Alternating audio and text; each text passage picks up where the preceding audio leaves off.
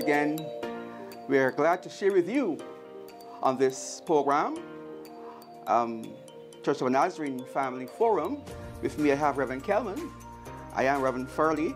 And um, surely we have about 33 churches across the island. And uh, we recognize the significance of family life. And we recognize also there are many pressing issues in our society.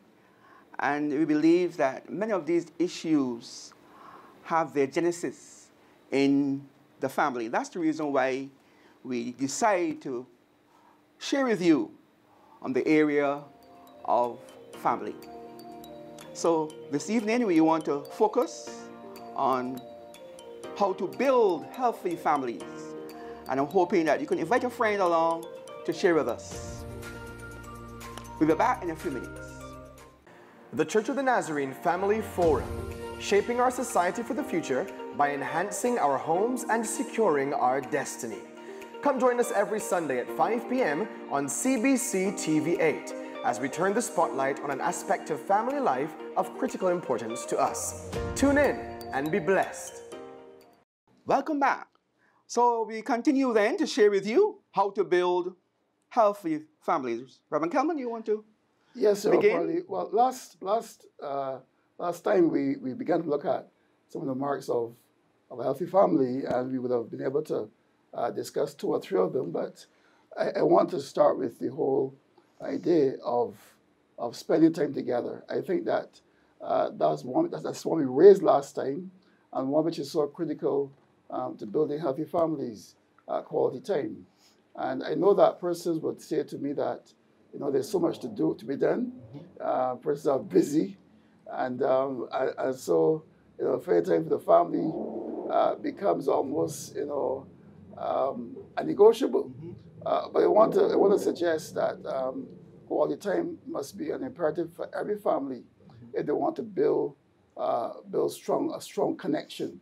Because unless we are in the same space and we spend time together, then chances are we're not going to fully understand and engage one another. And and quality doesn't necessarily have to be at a restaurant, you know, having dinner or lunch, or it can be just simply sitting together and having a conversation, um, playing a game even, you know, um, uh, reading the car and talking. I know uh, many families have two cars these days, uh, but one of the things which um, I did and in the early days of our family is that during vacation, especially long vacation when uh, the children were not in school, we would we would just drive one car, you know, as a way to kind of connect with each other. It makes sense. You know, um, you know, on the because way. obviously during the week So- you, so, you're so, separate. Right. So quality time uh, has to do with you know being intentional and uh, and finding a, and carving out space um, for that for that kind of engagement with the, with the family. And let me say though, uh, Farley, I, I mentioned it in passing about it being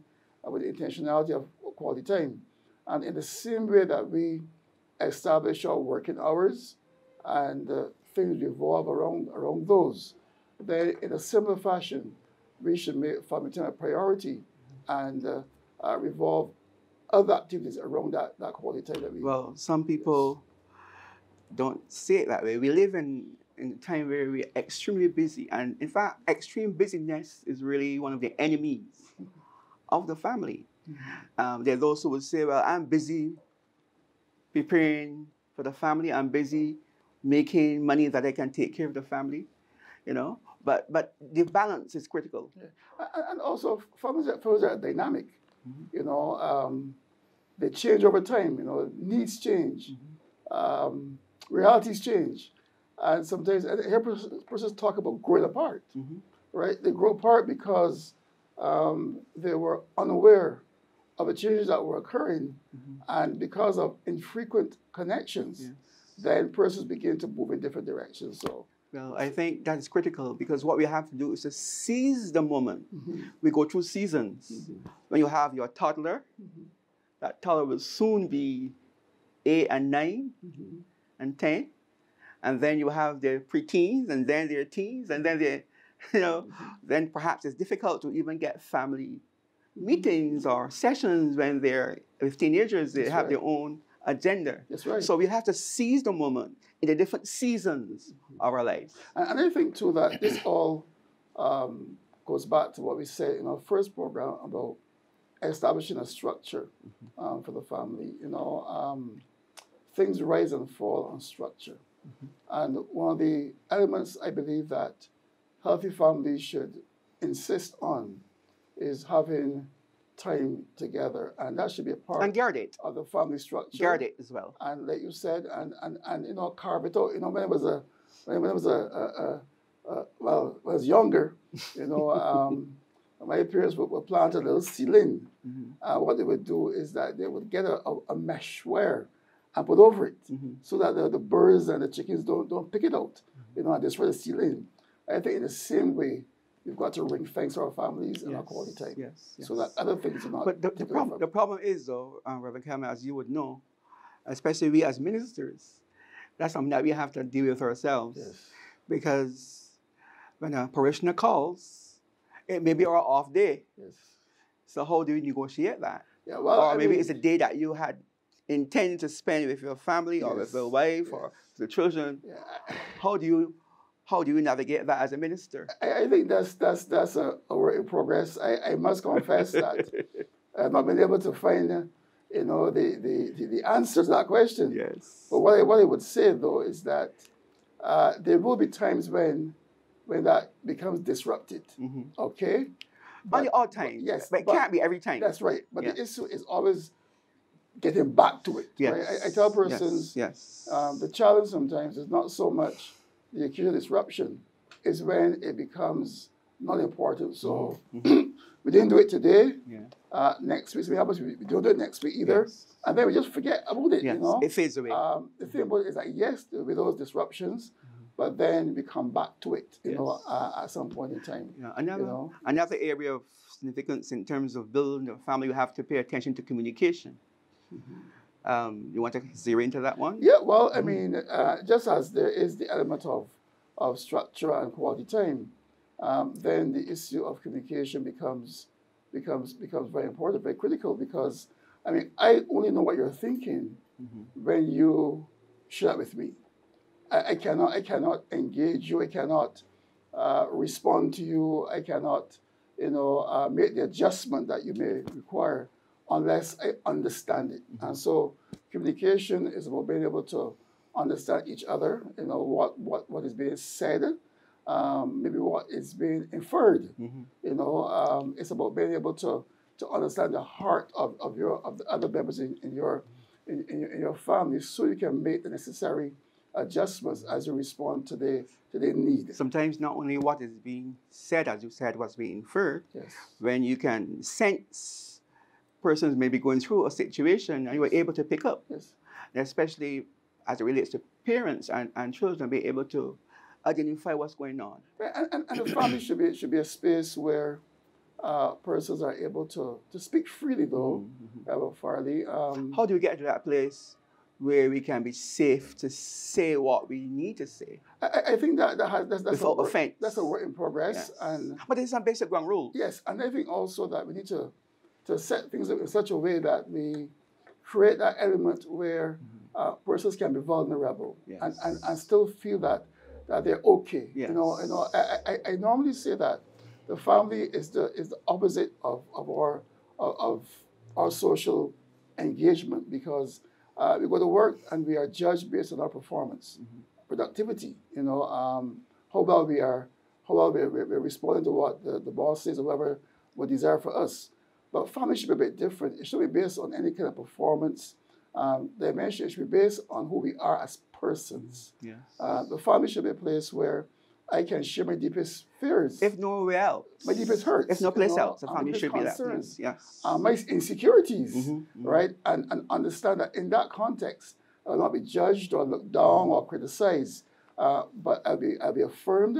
But the affirmation again, Mm-hmm. Yes, yes. you know, and I feel that sense that, that there- there's who, there are those who are supporting me, Mm-hmm. you know, and, and helping me to, to grow. I, I think though that that is a work in progress. Yes. It, it has to be a case where um, children don't feel threatened. That's right. can share with mommy how they feel. Yes, They can, of course, not only what is going on in the home, but let's say what's going on in school. yes, Can they come and say what happened today? If something happened that they thought I was out of place, Yes. can they share? that's right. Um, and not, not only that, as parents, parents, as it relates to power, because because parents, in terms of their children, have the power. The power is to empower, and not to abuse, or not to um, give the impression I'm in charge here. That's right. Power to love, power to forgive, power to shape, power to guide, power to release Yes. as the child gets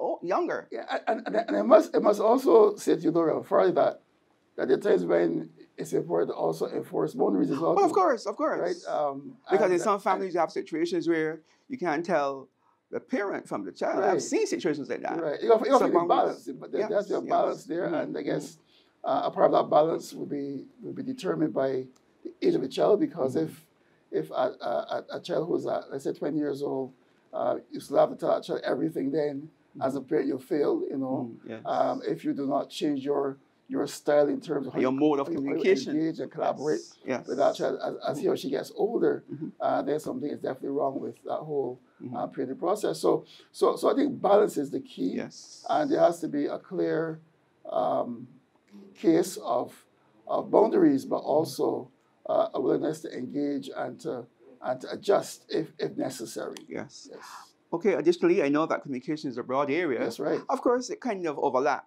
many of the areas, but another area of significance um, is building family traditions. Yes. You want to? Yeah, say that's that? that's that's that's major. How critical, how important is that Yeah, well, that creates for that- family rituals and so on? Yes, We're talking about yes.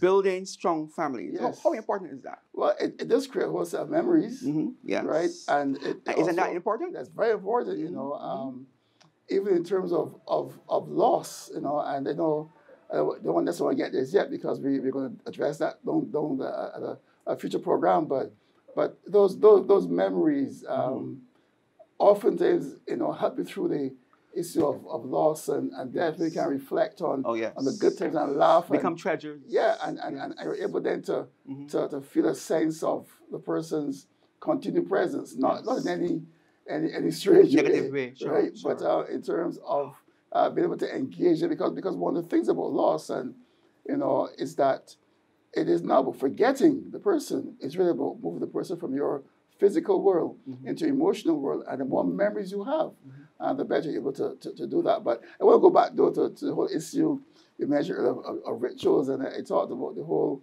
element of memories, but also it provides um, opportunity for connection and for connection that is planned.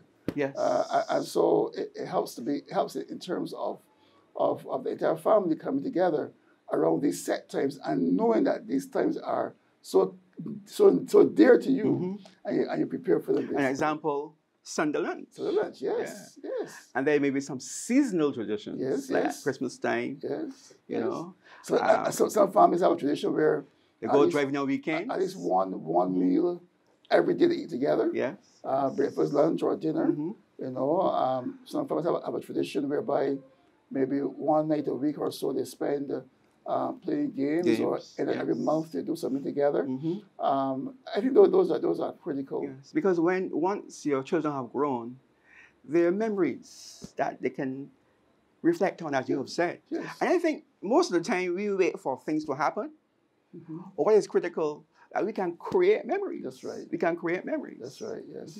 You know, I, I'm really big on on, on tradition, on, on family traditions, and even extend that to, to, to church traditions as well. Yes. Things that are, are uniquely, you know. So so so those, We, those we're not those being moments- enslaved to them. No, no, no. but those moments offer you uh, wonderful opportunities Mm-hmm. um, to, for quality time and uh, for connection as well. Yes. Yes.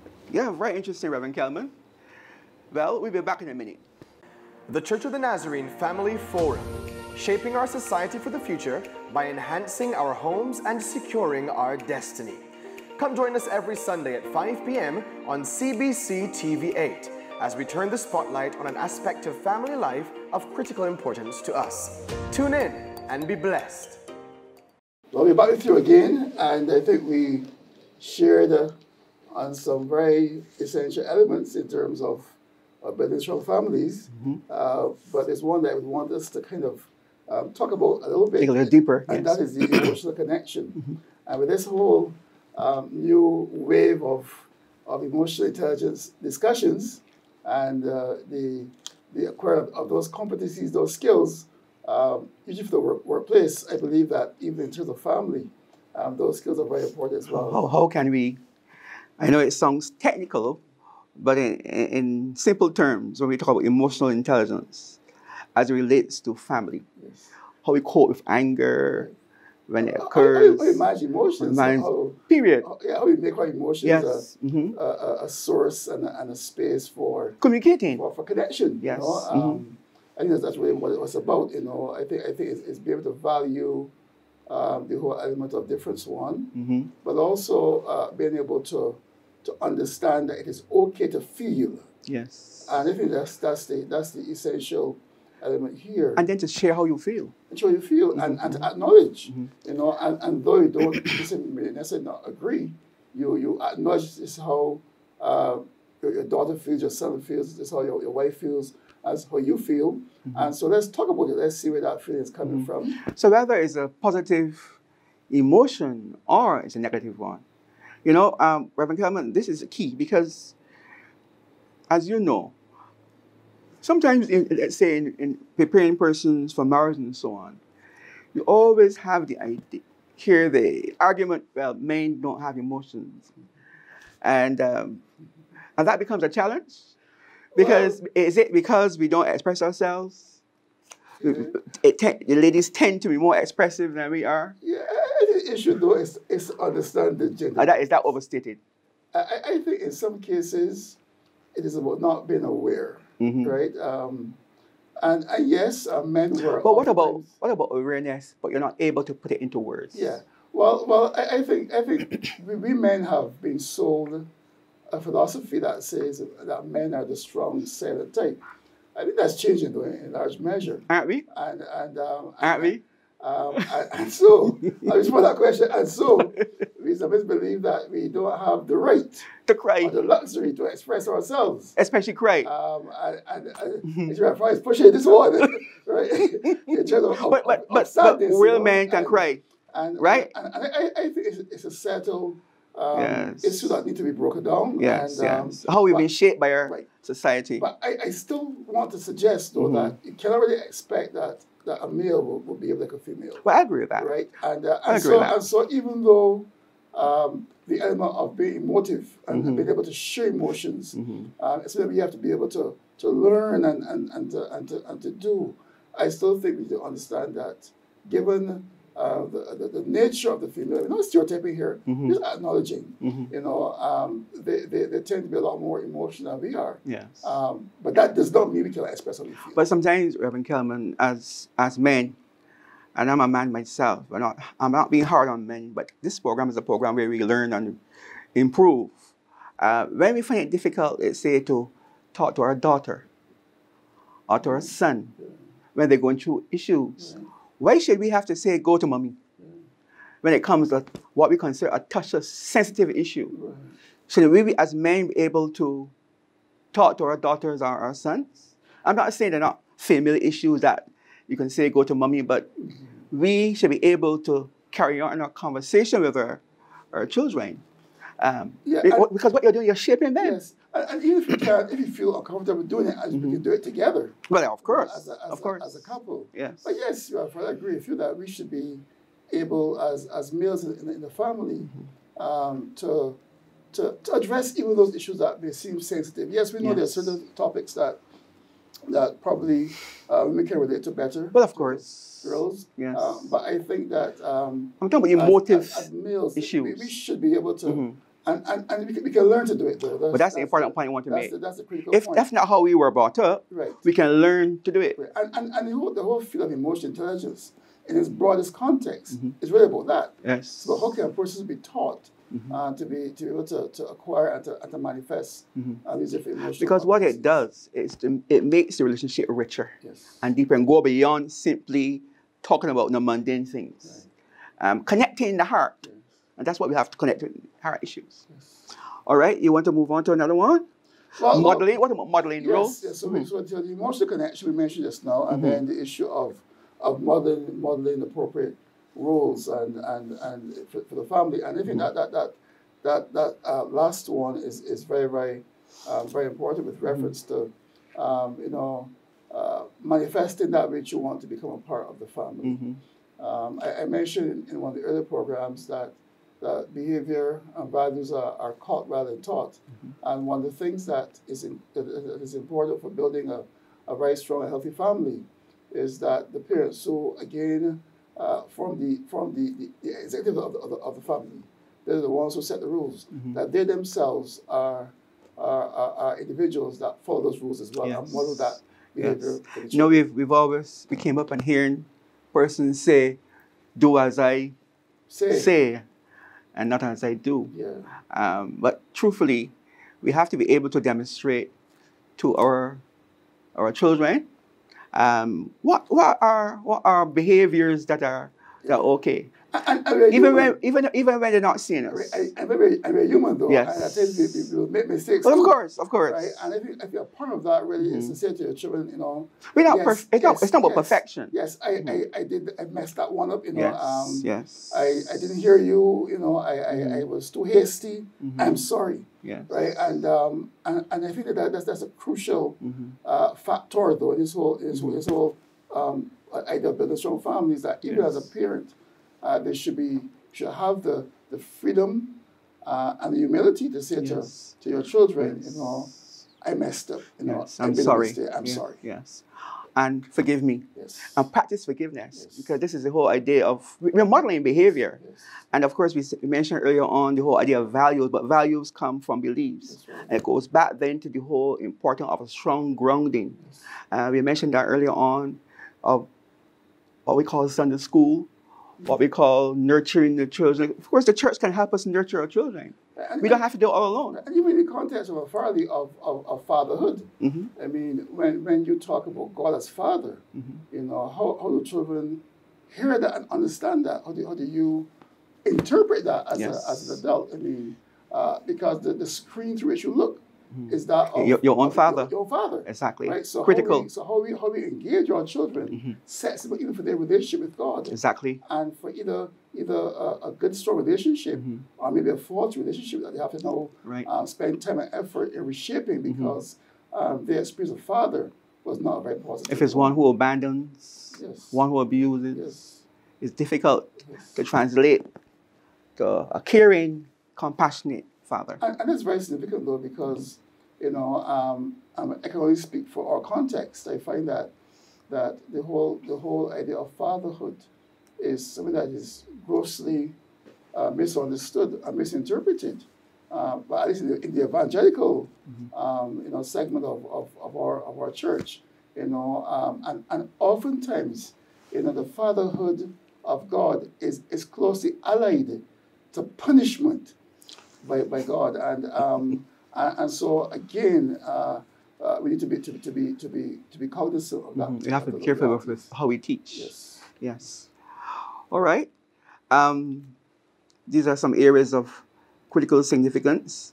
And list viewers, we trust that um, we'll, as we continue delving into these important areas of family life, uh, Reverend Kelman spoke just now about fatherhood. That's one of the areas that we're going to concentrate on as well as we share in these programs motherhood, um, fatherhood, um, a number of issues relating to family life. And uh, I'm afraid that there's one though that I, I thought we, we, we may want to Mm-hmm. kind of speak to, and that is the whole issue of, of family worship, though. yes, And um, I, and you being my senior, that you Mm-hmm. Uh, talk, uh, word. well, as we as we conclude, this is an important one to conclude on. Making time for family worship. I mean, at, in the fa- at home, and what some people sometimes what they do, they will use like the Sunday um, sermon when they come home and they share, give the children a chance to share what transpired at church. But more than that, I think that um, families should make time to have devotions and fellowship with their children and so on. I find that as the children get older, the children can also be responsible for leading, leading um, these family family times.